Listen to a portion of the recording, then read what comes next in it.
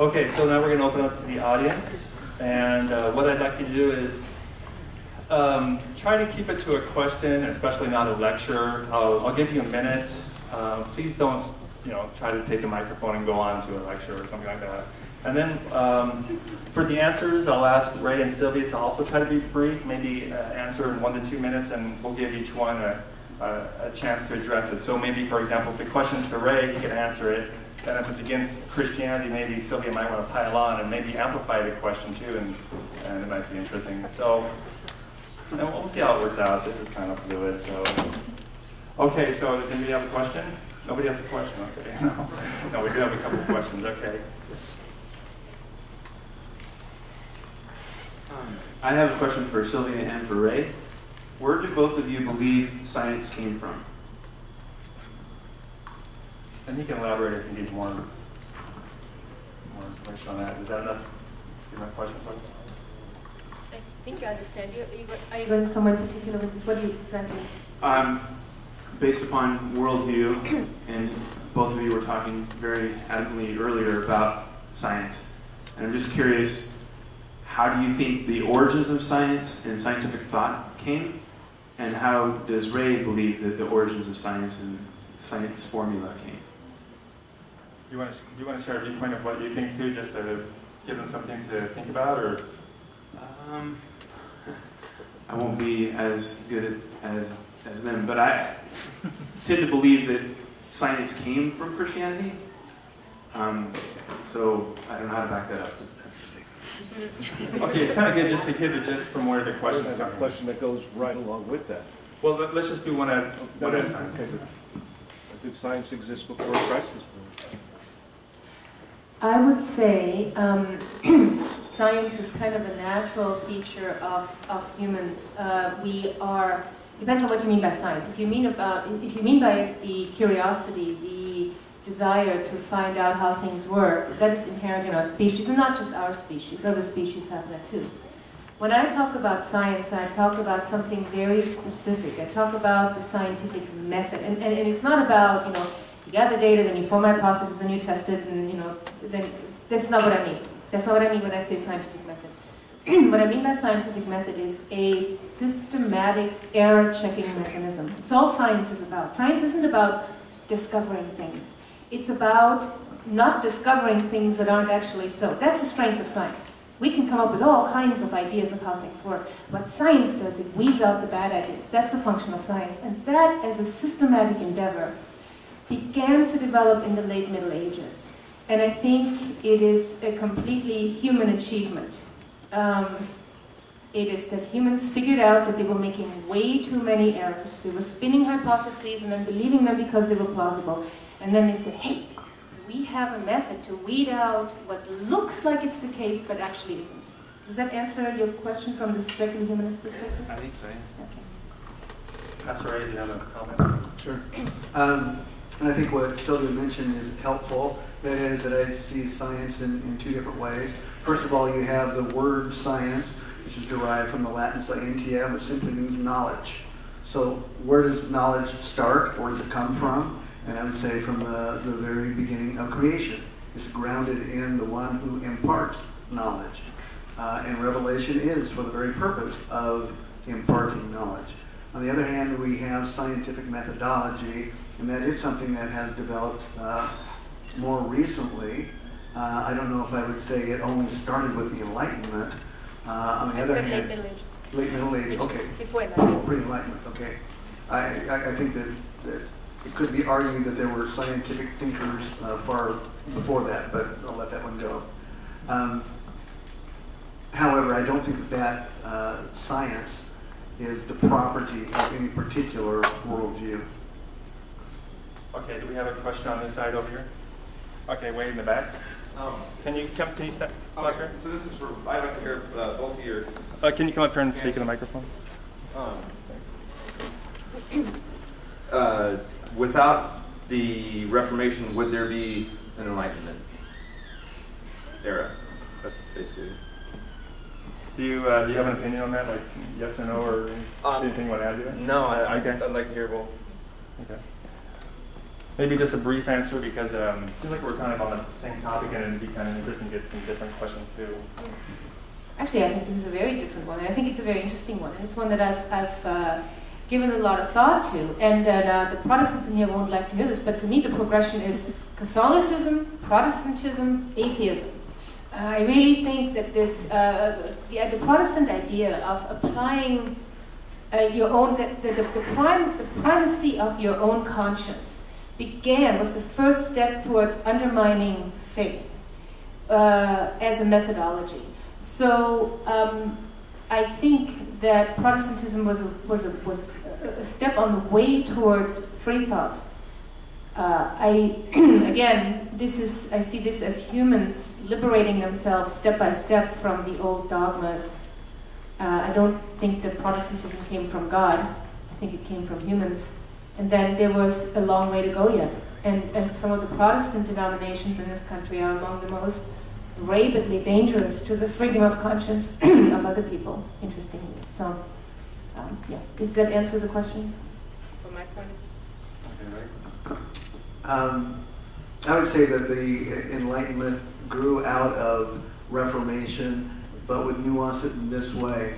Uh, we had a, a rise of skepticism, of doubt, and the, the the highest tier of authority in the Middle Ages was the Roman Catholic Church.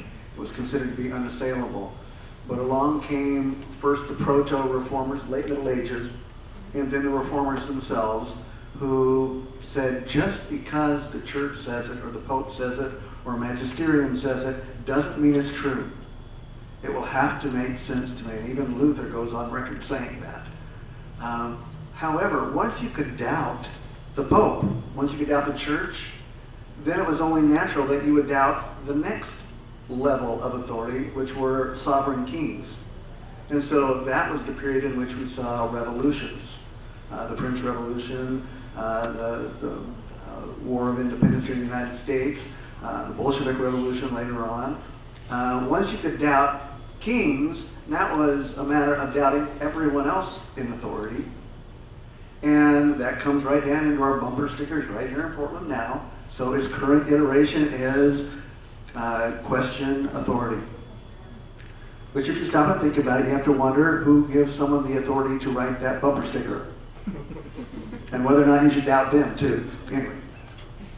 Okay, uh, just to give a suggestion to the audience too, you know, if you think there's something that just doesn't make sense about atheism or doesn't make sense about Christianity, that's a, that'd be a good question too, because then you're asking these people, how does that make sense? Because I don't understand your worldview.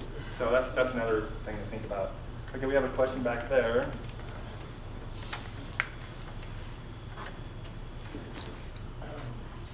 I'll address this one for Sylvia. Um, when you start from a standpoint of science and the scientific method for viewing everything, and then they look back and mentioning the Enlightenment as this being a, this is being the ushering in of those uh, uh, procedures even, and that a lot of progress has come from it.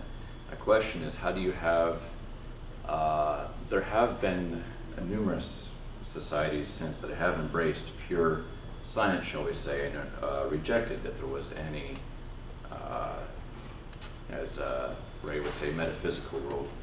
And yet, a lot of those things, uh, I don't know if, how much further advancement for science, but there was also a, an immense amount of suffering and slaughter that was encouraged on people. And I'm not saying that the theistic world is uh, clean of that. What I'm saying is, though, what is it that gives you a faith, a hope, a trust that through science and through the scientific method, we will discover things as humans and we will progress and that it would end hopefully in more beneficial ways other than increasing suffering, increasing devastation. Uh, I have a question for you. What, what society specifically are you talking about? What's that? What societies are you talking about that Uh, supposedly embraced uh, science? Shall we say under Lenin, Stalin, Mao, Pol Pot, maybe like, that uh, were actually very anti uh, for established religion and actually sought to destroy them. Someone else has also argued that all this science is bringing these smart robots and they're going to destroy us too, like the Terminator. That's like this science is going to kill us. Well, so first of all, I want to I want to clarify something. When I speak about science, I speak about the scientific method. There are plenty of things in humanism that are uh, that are also, for example, human well-being is one of our primary values. So I, I the, the conversation has become narrowed down to this methodology of free thought because I think it's the it's the salient difference be- be- between us. But I would argue that the societies that you mentioned were anything but uh, free-thinking societies. As a matter, well, while they were definitely not friendly to religion because they saw religion as a uh, competitor for people's loyalty, uh, they made deals with religion. Religion was not nearly as under attack in those societies as long as the religions didn't speak about politics, didn't try to struggle with the government. They were just fine with religion they suppressed scientific ideas too. When a scientific idea did not accord with their um, Marxist views, then those were axed too. That's not free thinking. Free thinking is that you are open to the result that the data give you. You don't start with the result, whether that's God's existence or whether that's Marxism. You start with the data, and then you go where it leads you. So I, I don't, I don't accept that that those were societies that were particularly free thinking or scientific or reasonable. You have a comment on it? No. Okay, do we, uh, let's uh, have a question over here. Do any of the students here, we have high school and college students, you guys um, have any questions? No? Okay, Carol, you got a question? Pastor Ray, early in your comments, you talked about these emotions that couldn't be measured. Actually, they can be measured. Neuroscientists measure them all the time. So anyway, uh, the question, uh, Do you want me to respond to that? okay, Okay, no, they don't measure emotions. What they measure are physiological uh, signposts like uh, increased uh, um, Oh, no, uh, brain blood waves. pressure, brain waves, things like that. But but that doesn't tell you uh, the uh, the emotion itself. All it says is that there are certain kinds of neurons firing. All it is telling you is electrical data. okay. Well, my actual question is about your comments about the church was instrumental in doing away with slavery. The Bible is full of slavery being approved. How do you, how do you uh, relate to that? I could give you examples if you, Oh, no, no, I, I'm, I'm well aware. Um, Actually, the, the uh, laws in the Old Testament that were, that were given with reference to slavery weren't for the establishment of, but rather for the limitation uh, to the protection of dignity of those who were already within that system. But if you want to find the, the definitive sort of last word on the whole topic of slavery, just read the book of Philemon. And there you have someone who was a slave, and Paul makes a very strong appeal, saying, uh, Onesimus, the slave owner, or Philemon rather, uh, the slave owner, uh, Onesimus is the slave. He said, um, receive him not as a slave any longer, but as a brother. And so we have already the, the, the principle being laid down for really the abolition of slavery in that book. Just, just a quick question, wasn't the uh, admonition from Paul for slaves to obey their masters, wasn't that, isn't that more supreme, don't you think? Uh, and actually, that was part of the same body of literature, and I would read the prison epistles not as completely uh, uh, discrete books, but rather as a corpus that would have their consummation on that particular topic with um, Onesimus and Philemon. And in fact, what you have is um, uh, wives being uh, told um, that they are to be in submission to their husbands as Christ has submitted to God, and that husbands are to love their wives as Christ loved the church. I don't think he's making two different commands. I don't think he's saying husbands need to love while wives need to submit. He's giving two sides of the same coin to both. And he's saying both of you need to lovingly submit to one another, follow the pattern of Christ. And same with all other human relations, whether it's fathers and sons, or even if you go to slaves and masters. And I don't think there he's trying to establish that. He's saying, here's how you are to behave if you find yourself in either of those. But if you want the ideal, go to Philemon. All right, Sylvia? Well, I have a huge amount of trouble with the argument that the uh, laws about slavery in the Old Testament were for the dignity and protection of, of slaves. Uh, clearly, Old Testament, if, if it is, if we do interpret this passage uh, in Paul this way, then in fact the Old Testament and the New Testament do say different things. Um, but I have a huge amount of problem with that because remember, these are people who whack off parts of their genitals because God says so. Do you think that God would have had much trouble getting them to obey if He had told them this slavery thing, guys, you gotta get rid of it? You know, I, I'm sorry, I don't, I just don't buy it that um, you know if, uh, that that the Old Testament doesn't endorse slavery. They would have done it if He had told them if, if this if this were the case. And of course, the trouble with things like uh, submission. In fact, my, my son had an argument with. Uh, a number of other teens that he was in, in, in Wisconsin with recently. They were Christians and they argued that you have to honor your parents. And my son said some parents are bastards. They don't deserve to be honored. And, um, and the trouble is, of course, when you have, if there's a God and if there's Jesus, you can expect them to act in particular ways. Humans are fallible and human parents are fallible. And sometimes a child's defense is to not honor their parents, but to get out of there and to not obey. And this is what a secular law does. It gives humans recourse when they're in bad situations. And it's all nice if everybody is really sweet. You know, living in submission to my father was not a big deal because my father was a great guy. He was very reasonable, very kind, very wise. I've met other fathers I would not want to be in submission to when I'm five, when I'm 12, when I'm 17. So that's the reality of it. So, you know, it's not a good law when you don't give people recourse. And, and, and, and as far as slavery is concerned, yes, because we know, we know about the civil rights movement and Martin Luther King and you know, religion being involved. Uh, there were a lot of people who were opposed to uh, racial integration on religious grounds because they thought it violated God's law. And a lot of people pointed to the Old Testament in defense of slavery, said it's God, against God's law to abolish slavery. So, you know, whose interpretation is right? Yours? Okay. Yeah. Right. Did you want to add? Did you want to Uh, I think that that would be a very, very large topic. That might be a, a, a separate one to engage. It's not that I'm trying to dodge that one. I just think it could be a big one. Okay. Question.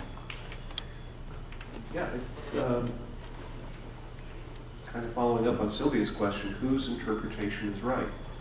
Uh, I- I was going to start out by asking you, how does God decide who goes to heaven and who does not? And looking at the various the uh, religions around the world, including Hinduism, Buddhism, Judaism, who, how do you decide who's right? How, how does how does a person decide who's right? You just are you are you basing? Okay, you you decided you, you're a Christian. Are you a Christian because you were raised in a Christian society with Christian parents, or did you make a conscious decision to become a Christian, rejecting Hinduism and Buddhism? And and if you did make that decision, how did you make that decision? Uh, and tie that in with uh, who goes to heaven. He wanted a smaller topic, not a larger one. Well, basically, you're just asking me for my, my personal story, my personal testimony, and I will keep it very, very brief. But if you're asking, or, or if you're implying that I am a Christian simply because I was conditioned to be so, I would dismiss that and say, maybe this will be disappointing to you, but I took philosophy classes from atheists, and I took classes in physical anthropology to study the, the, the story of evolution from people who were adamant believers in it. Um, I took world religions courses and I read the scriptures of the other world religions. And so, no, I wasn't, I'm not a Christian simply because I haven't been exposed to the other alternatives I have. And bottom line, I think every worldview has some issues that are very vexing and complex, uh, complex for them.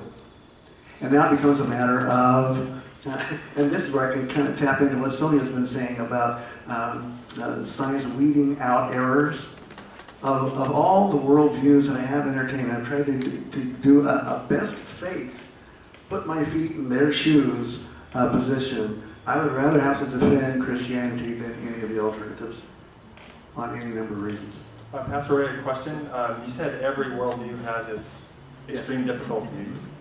Would you uh, mind being open and honest enough to say what you think Christianity's, your Christian worldview, what the biggest uh, problem is to try to reconcile? Sure. Um, and I assume that, of course, Bernie, you're going to ask Sylvia the same Yes. question, aren't I'll you? ask Sylvia, Aren't right. you? Sure. Aren't you? Whether she answers it or don't. But I would say that, that the, uh, the biggest, uh, what we'll call them paradoxes, the biggest apparent contradictions within the Christian theism would be number one, how can you have a God who is in charge of everything and yet we are responsible for everything that we do? Another big problem that I see is um, the problem of evil.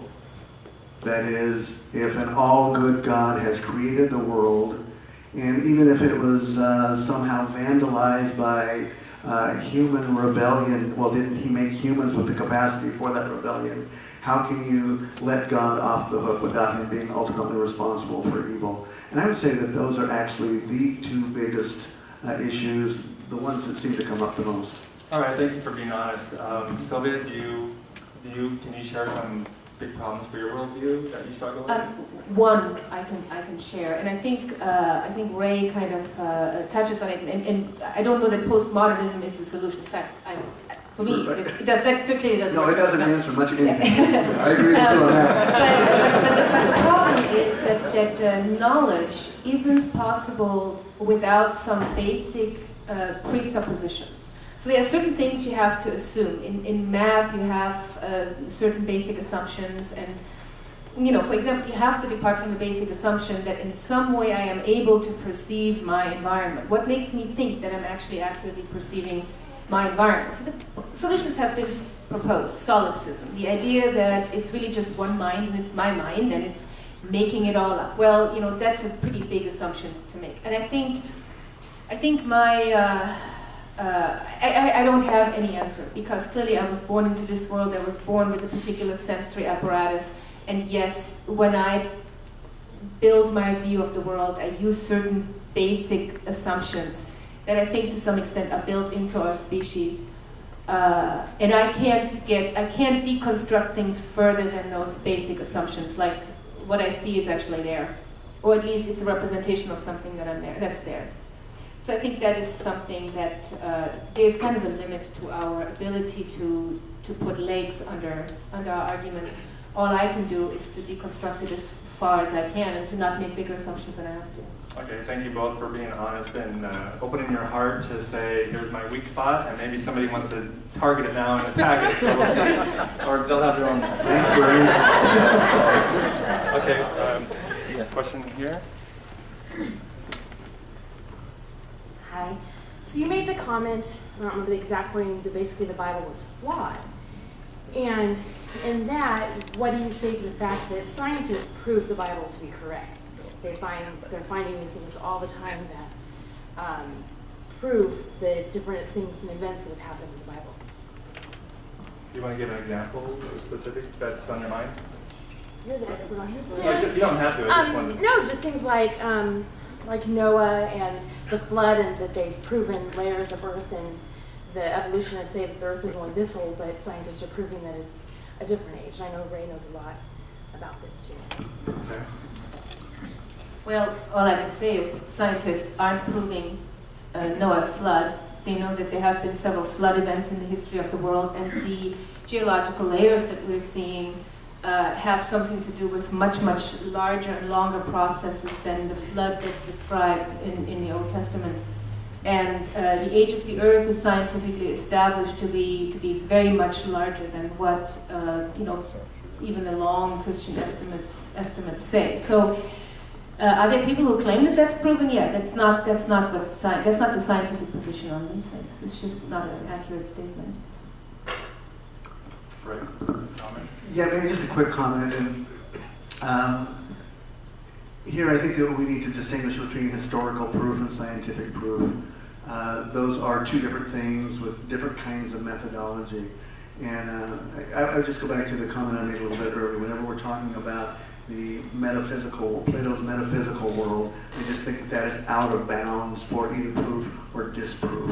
And I'm not, and I didn't mean to imply, Sylvia, that, that, the, that the onus is on atheists to disprove it. Uh, I, I don't believe that. All I'm saying is that science has to sit there silent when any discussion about metaphysics takes place because it simply can't weigh in. Okay, I think one thing I'd like to add, and then I'll let Pastor Ray uh, put a note on this too, is I, I really don't want people to be, um, you know, go away with misunderstandings. And I think there may be a lot of Christians in here that think, for example, that evolution is not compatible with their faith. And I was talking to Pastor Ray earlier, and he said that uh, evangelicals have a range of opinions, and uh, human evolution from animals is within that realm. That's, that's acceptable, so it's not something that you have to laugh about or say, oh no, Christians can't believe that, or evangelicals can't believe that. Ray, do you want to? Um, yeah, I, I, would just say that, that the very term evangelicals is a huge one, and people who uh, are evangelicals, the only real way to, to determine that is to ask them. Um, because there is such a wide variety. If we have a bell-shaped curve of opinion, I would say that those who are theistic evolutionists would probably be out toward the margins of that, but it would still fall within um, uh, the realm of possible uh, Christian beliefs. And, also, since the flood was uh, brought up, you might I'll say this and you can agree or not, but evangelical Christians also, there, there are some who say that there was a global flood, some say no, it was local, and some say no, there was no flood at all. We interpret that differently. Is that true within evangelical Christianity? I'm not aware of those within evangelicals who would dismiss the idea of the flood altogether. Um, it just becomes a matter of extent, and there is a variety of opinion on that. Okay. Dr. Lammer was one guy that we, I talked about earlier. He's, he's one guy who would say that, by the way. Who would dismiss it altogether? Well, he's, he basically is, would say the Bible is not a book of science or history. It's a theology book, and so you don't take it literally. And so he does not believe there was a global or local flood. And, and he doesn't believe there's Adam or Eve historical figures. And I want to add something because I may have mis- I may have um, created a misunderstanding too. So there have been, of course, there have been a large number of floods in the history of the Earth. In fact, one is what, what's called big something with M. Keep forgetting. Hoover Dam, Columbia Gorge was formed this way. The, the, the, the hmm? Missoula flood. Thank you. That's the one. Um, and there have been a succession of those over over um, thousands and thousands of years. Uh, so you know the idea that there are, there's flooding isn't extraordinary, and there have been many many floods over the Earth um, over thousands of years and millions of years. And so that's really not that much in dispute. Uh, but when I say the geological layers, those are, you know, usually just about areas being becoming becoming lakes or seas and then drying up. This was a much these are much longer term events than, than flooding. Just one very, very short response to, to Paul on, another matter that he brought up that I didn't respond to, and that is who gets to uh, determine what the right interpretation is. And just uh, one guideline that I've been using now for a number of years is um, kind of based on a, a, a, principle from the Reformation that Scripture is its own best interpreter. And by that, what I need to do is look at how Scripture interprets previous Scripture.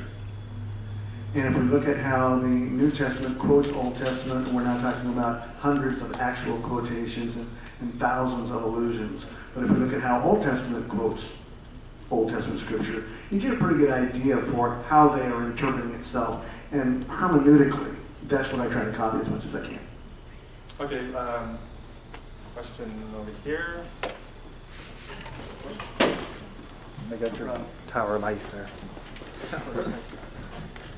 Uh, hey, my question is for Sylvia, and um, you, we've talked a lot about science, and my question is, maybe not for you personally, but for the position that you're standing for, do you make every major decision in your life based on science? Because we're talking about basing worldview off of science, but where you send your kids to school, who you marry, things like that, do you base that on science as well, or is there another criteria that you use? I, I wish I had perfect data, and I really wish I could base my decisions on that, but, but the reality is, is I can't. Um, I do uh, attempt to the greatest extent possible to base all my decisions on reason. So, you know, I had a, least when I posted this on listserv, I said, I have this problem. I'm trying to hire somebody to do a job that I'd rather not have to hire them to do. And I really like this person, but the stats on the other person look better. What do I do? You know, do I go with my, my feelings? Do I go? And so I tried to reason out what is a reliable way to make this, what is a reliable way to make this decision? And there are some areas where I think the reasonable position is, well, if you're doing it just for enjoyment, then I can go with my feelings because there is nothing else at stake. You know, if there's no negative consequence for anybody, like do I try to base my decision whether I'm going to have a pineapple sorbet or chocolate ice cream? Do I have any reason? No, it's just about what I feel like eating. You know, it's not, not all decisions need to be subject to scientific consideration. You have a comment? Okay, we have, uh, I think, two more questions. We got one here and one here. and Then we're gonna, then we'll have you close it with a minute or two summary. And then uh, afterwards, feel free to talk, you know, afterwards with people as they stick around. Okay, so question over. Hi, my question is, do either of you believe in absolutes? And if you use the scientific, me scientific method, um, that results in theory that and science changes all the time. So how how would you defend that?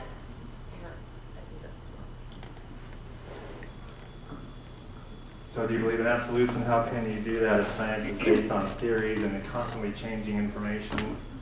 I would have to think very hard about what an absolute is exactly. So we're talking about the same thing. So if you have some idea of what you mean by that? Uh, um, I was thinking about the scientific theory. Um, scientific theory doesn't, it ends in a theory, it doesn't end in an absolute. Science changes oh. all the time. Got it, yeah. Well, um, that is precisely why I like science, because it is self-correcting. In other words, if science comes up with a dumb idea, you can bet that eventually that dumb idea is going to be discovered and it's going to go away. So uh, the question then becomes, why would I trust any science? I think maybe that's where you're going. Why do I trust any scientific theory, uh, given that theories can change? Is that more where you're going? Um, so what, what's your foundation? What doesn't make your world spin? Because everything's changing all the time. My world is spinning, of course. so, um, but again, that's not, see, I don't, I guess the question is that do you need absolute, do you need certainty about something? First of all, we cannot get certainty. We can get pretend certainty. I can sit here and I can pretend that I know something, but it's just pretend. It's not real. The reality is we are limited in our knowledge. And the best we can do is to keep perfecting that knowledge, to keep asking questions, to keep experimenting, to keep discovering new things. Recently, Recently, a set of scientists told us that uh, to the best of their data, neutrinos travel faster than light. And, and people were presenting this. And, you know, well, we need to find a flaw here. This does not work. This violates everything we know about physics. This is fascinating. The, the most likely probability is that they, that they actually made a mistake somewhere. So far, nobody can find it. That is fascinating. That doesn't shake my confidence in the scientific method that affirms it. You see? Somebody discovered something new. So what do we do now? Do we dismiss it? Do we say, no, no, no, our documents say that this is not possible. We say, well, we can't find a flaw in your methodology. Let's keep looking for the flaw, but let's also start rethinking physics to see, you know, what we can learn about the world. That's the strength of science. That's why it gives us better and better data, because it is self-correcting. And if I have to give up my certainty for getting closer and closer to the truth, then I'm willing, then I think that's a good trade-off. If I stick with a particular position, yeah, if I stick with a particular position, all that's going to do is prevent me from learning the truth eventually, or getting closer to the truth. Pastor, do you have a comment on that about absolutes and science constantly changing, especially theories? Yeah, um, I definitely believe in absolutes. I believe in objective reality, but I also believe in relative knowledge on our part of that objective reality. So to say that I believe in objective truth doesn't mean that I have uh, the, bottom line answer to everything. And uh, there, I think that postmodern criticism has done us the greatest favor in kind of puncturing the, the, the pride, the hubris that would say, I know the answer to everything.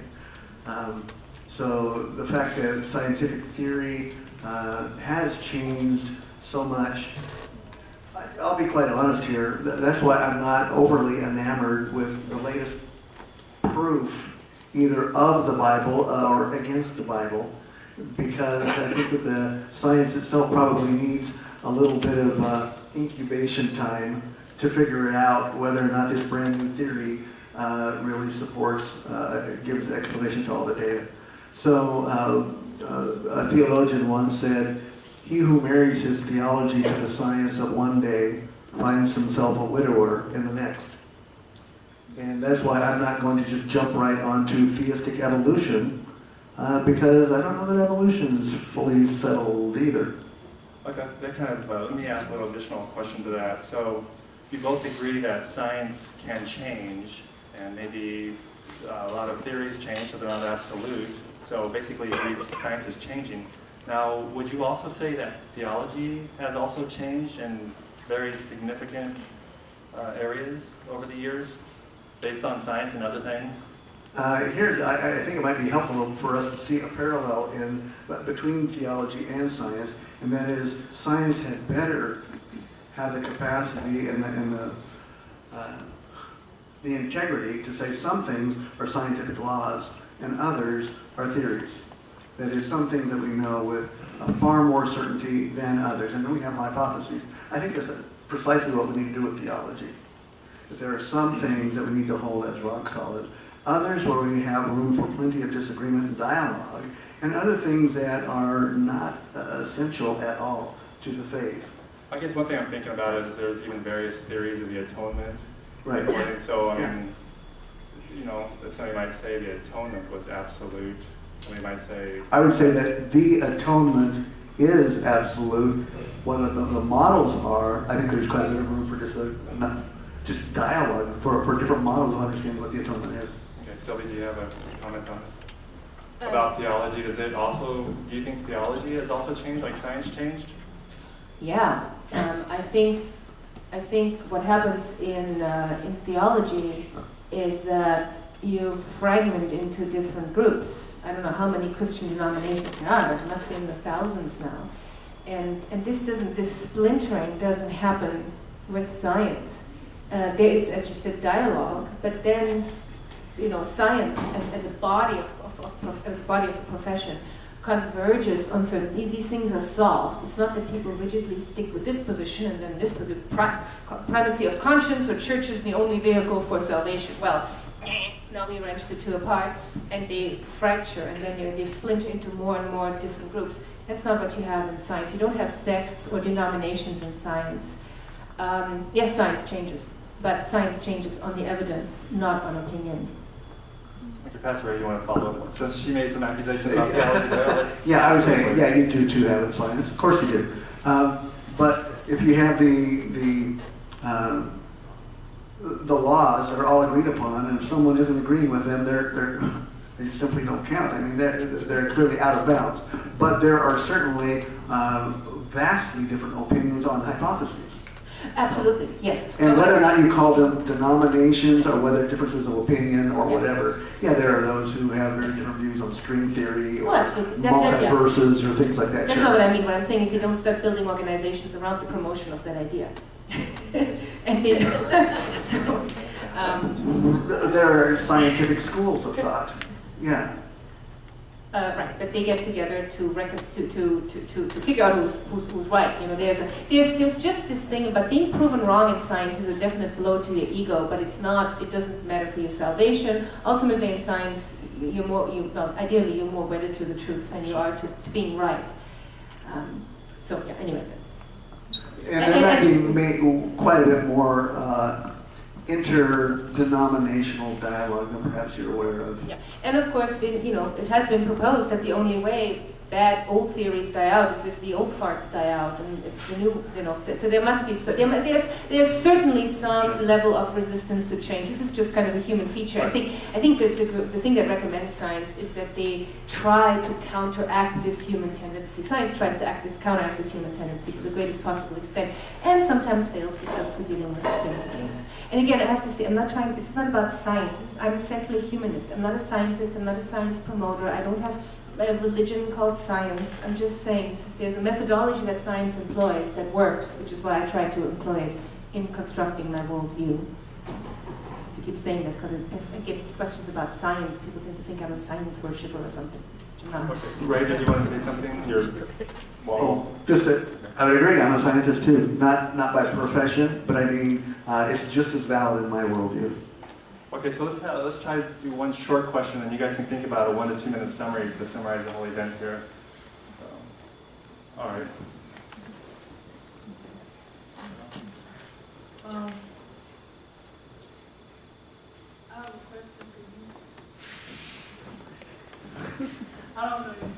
Sylvia, I'm Sylvia. Sylvia. Um, I don't get why like almost everything in science is based on um coincidence. Uh, quick, yeah, I was going to say that. Can you explain what you mean by that? Like the Big Bang Theory. So you're saying that Yeah, what do you mean by coincidence? Um, I don't know. Well, because the two atoms out of nowhere just got together and they formed the universe. Oh, a coincidence means just by like an accident, it just happened randomly kind of thing? Okay, like nothing positive. So basically, in the Big Bang Theory, he's uh, thinking that oh, all of a sudden, you know, eons of time, nothing happened. All of a sudden, boom, something happened. There's no God, nothing caused it. What's what's causing this thing? Is that what you're saying, kind of thing?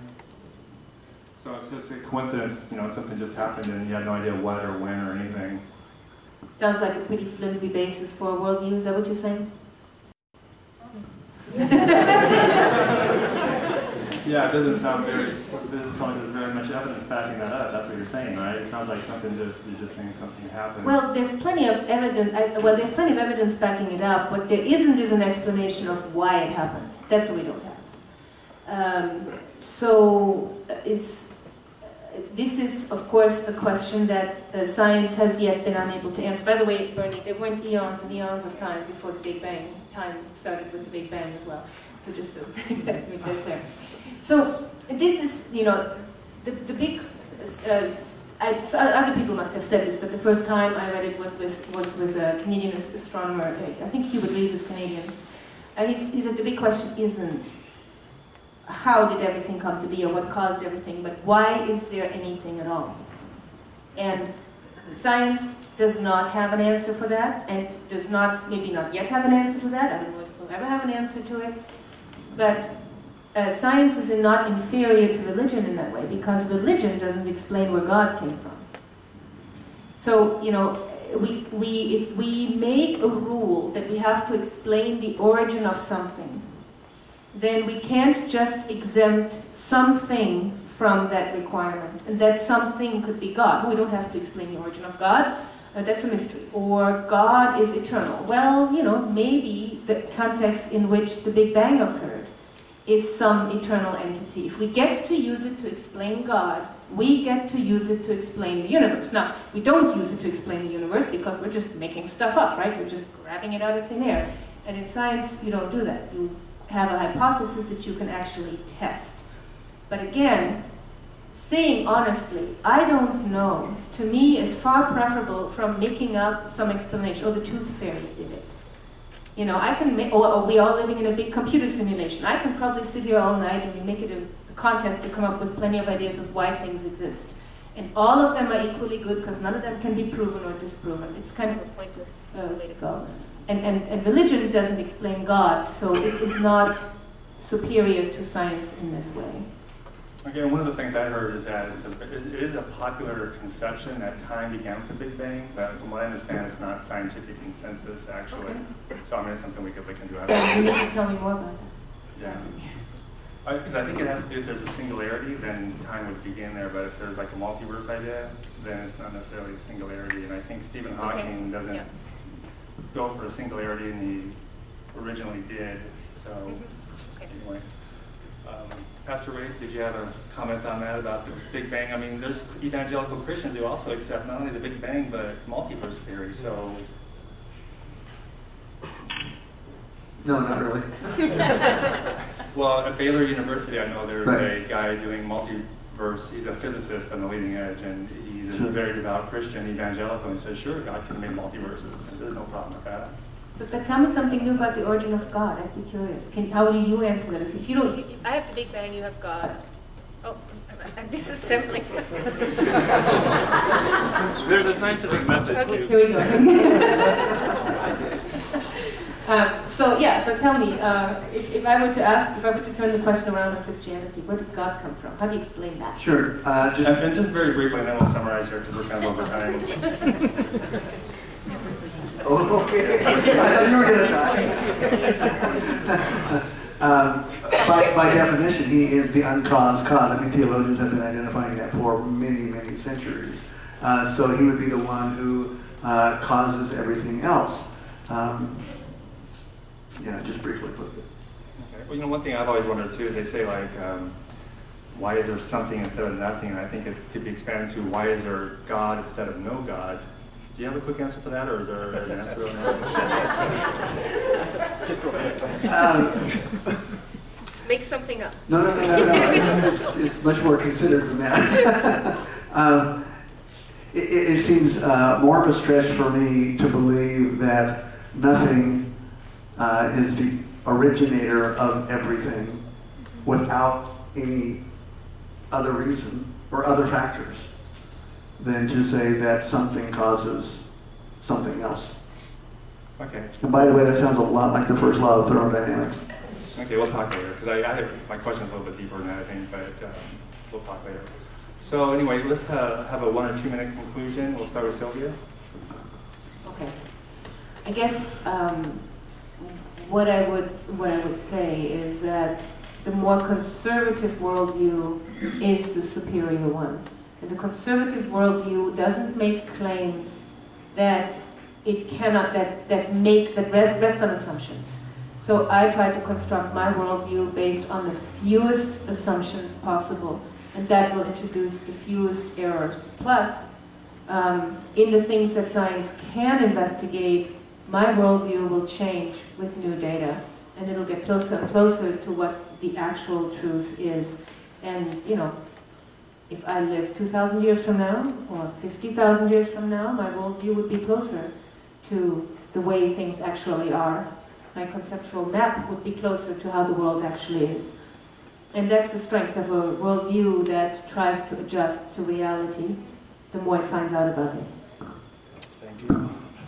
I would agree that uh, my worldview also is dynamic and it is uh, uh, changing. In fact, I wouldn't even mind saying it's evolving. Um, so I, I don't think that that's something that differentiates us. Uh, what I would say is more substance than differentiation is that um, uh, just a moment ago you said uh, asking why uh, it doesn't really matter. And I guess that's why I would say my worldview is better. Because we don't just say why it doesn't matter, it doesn't compute. We say we're interested not just in how, but in why. To quote that, uh, that famous physicist and theologian, Julie Andrews, nothing comes from nothing. Nothing ever could. Uh, Neil Postman uh, once said, as to how the universe started, the scientist replies, probably by accident. As to how the, or the um, universe will end, the scientist answers, probably by accident. And Postman says, for many people, the accidental life is not worth living. And the post-modernist says you're both right. You and Sylvia tonight, right? No, I'm just kidding about that. okay, well, let's give these guys a hand.